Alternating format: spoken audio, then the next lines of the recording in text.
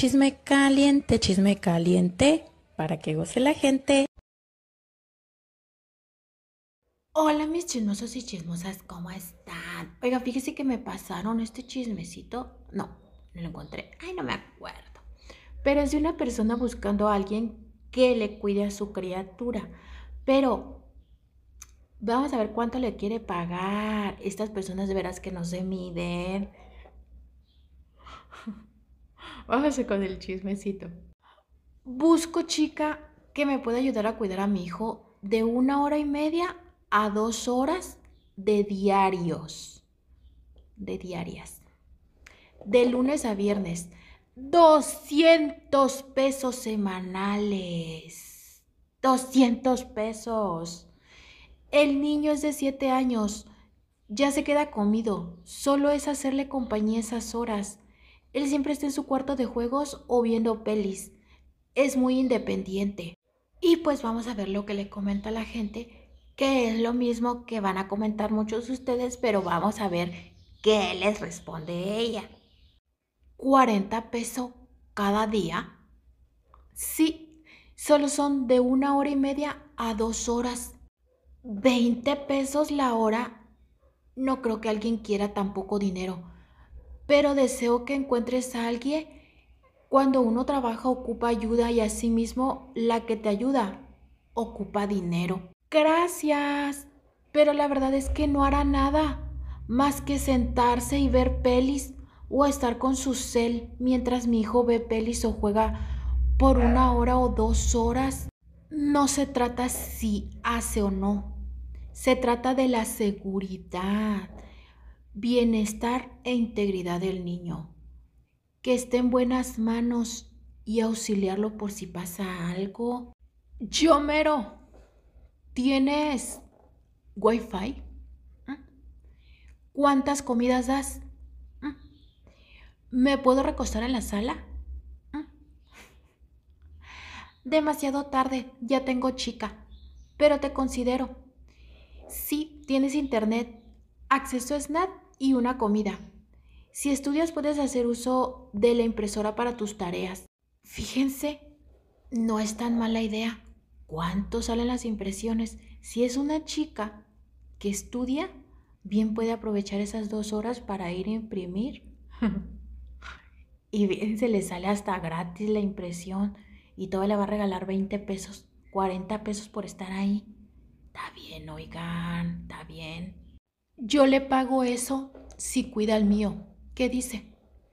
Claro que sí. Si son dos horas, sí está bien, pero puedo de 6 a 8 pm, que llegó del trabajo. Pero que ella lo cuide en su casa. Bueno, en la suya.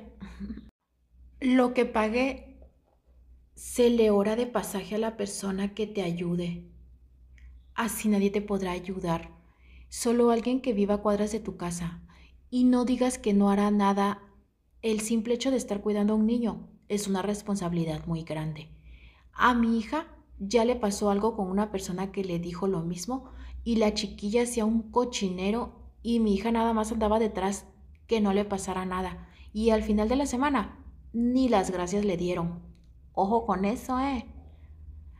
Por eso le puse para las chicas de Valle Dorado. ¿A que no, oiga, en la publicación no decía eso, no ande diciendo mentiras. Pero sí, obviamente tiene que ser una persona que viva ahí cerca. ¿Por qué no le dijo una vecinita? ¿Verdad? Oiga, mija, ¿será que no puedo dejar a su hija que esté acá con mi hijo unos dos horitas nomás para que esté ahí, va, al pendiente de él? Va, con los vecinos. Se me hace que no se lleva bien con los vecinos, por eso no les dijo. Yo ofrecería mínimo 1500 a la semana si es por dos horas de lunes a viernes y que según no hacen nada. Suerte mujer, pero ofrece más, mija. No ofreceré más por algo que se la pasará sentada, viendo su cel. Todavía hiciera tarea o alguna actividad con él, voy de acuerdo. Gracias. Bueno, fue una sugerencia para que encontraras a alguien más rápido porque aún así es una responsabilidad muy grande. Se trata de tu nene y uno nunca sabe, pero bueno, espero encuentres a alguien. Con humildad mi comentario, son dos horas diarias, o sea, 10 horas a la semana. Por 5 días se me hace razonable.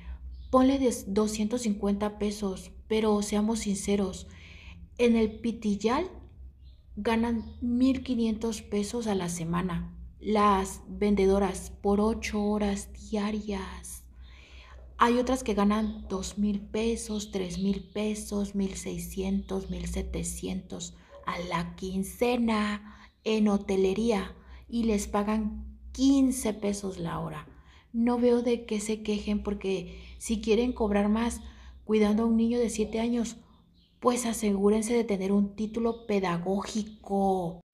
Sabemos de la responsabilidad, pero también no sean tan así. ¿La persona que cuida al niño puede tomar agua de la llave? Mm, no, si ese estudiante puede hacer sus tareas en mi casa e imprimirlo, se ocupa.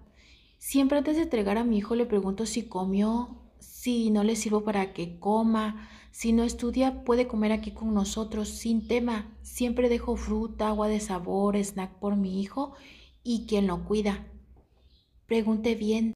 No pregunté, me burlé de la burla de pago que ofrece. Por la estudiante que sea, por más necesidad que tenga ofrecerle ese pago es una burla. Es trasladar la pobreza de uno a otra persona para que esa persona la absorba. Qué lástima que todavía crea que está en lo correcto. Ah, la verdad no lo tomo a burla. Como mencionaron en el comentario que después yo hice la copia aquí, pero se lo comparto. Con humildad mi comentario son dos horas diarias, o sea, diez horas a la semana. Ah, fíjense, ese comentario es ella. Yo creí que lo había hecho alguien más, que sí había razonado, pero no fue ella. Este, pues como ven ustedes, la verdad es que ese trabajo le conviene a un estudiante, así de simple. Una persona, un adulto que, que tiene hijos, que tiene que llevar dinero a su casa, pues simplemente no le sirve. Tiene que ser una chamaquita de 15, 16 años, que pues igual, ¿verdad? ¿Qué responsabilidad puede tener para con la criatura de 7? Pero pues ella dice que el niño se entretiene solo, ¿verdad? Pues bueno. Vea, cada quien, cada quien. Pero pues ahí les dejo el chismecito para que lo comenten.